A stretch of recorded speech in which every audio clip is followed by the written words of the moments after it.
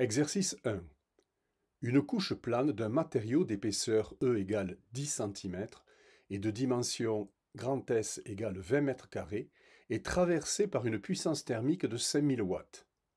Les températures de surface des deux faces de la couche sont respectivement TS1 et TS2, 80 degrés Celsius et 55 degrés Celsius.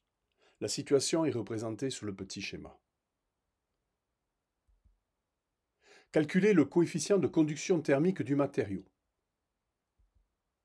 Le coefficient de conduction thermique du matériau va être calculé grâce à la résistance thermique.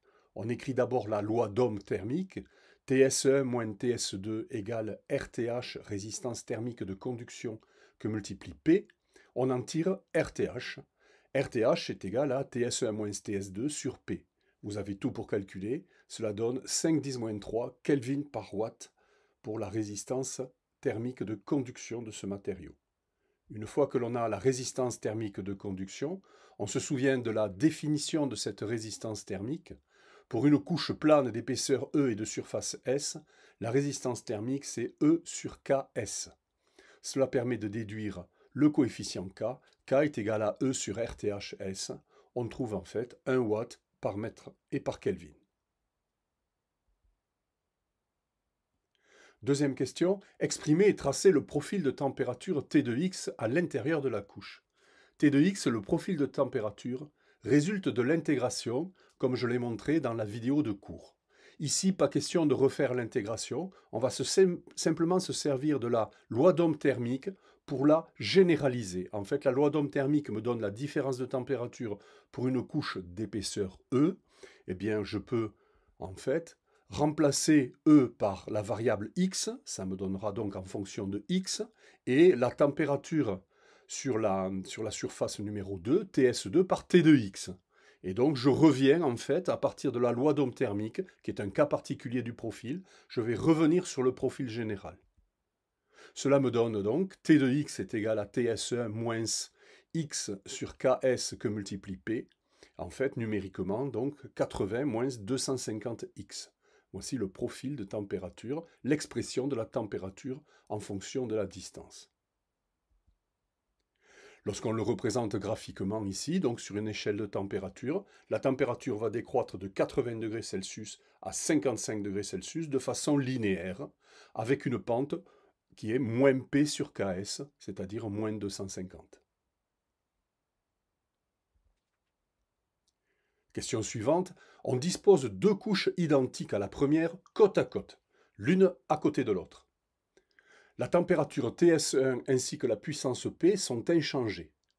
Calculez la température de surface de la seconde couche, TS3, c'est-à-dire à, l'extrémité gauche de cet de cet euh, ajustement entre deux, deux, matériaux côte à côte. En fait, on va faire une modélisation hein, par un équivalent électrique. Donc si on, modélise par un équivalent électrique, on aura une puissance P, puissance thermique P, qui va traverser deux résistances thermiques. RTH tout d'abord, la première couche, et puis ensuite RTH à nouveau, la seconde couche. Et l'on peut se poser la question de quelles vont être les températures TS2 à l'interface entre les deux couches et TS3 du côté gauche, du côté droit, pardon, du côté droit de la seconde couche. En fait, la première des températures est totalement inchangée. On le voit de suite en écrivant la loi d'Ohm thermique sur cette première résistance. Sur cette première résistance, je peux écrire TS1 moins TS2 est égal à RTH que multiplie P. Étant donné que TS1 n'a pas bougé, RTH non plus et P non plus, c'est mon énoncé, et donc la température TS2, c'est toujours 55 degrés Celsius. Pour avoir TS3, on peut appliquer la loi d'Ohm thermique entre du, part et d'autre de, de ces deux couches qui sont côte à côte.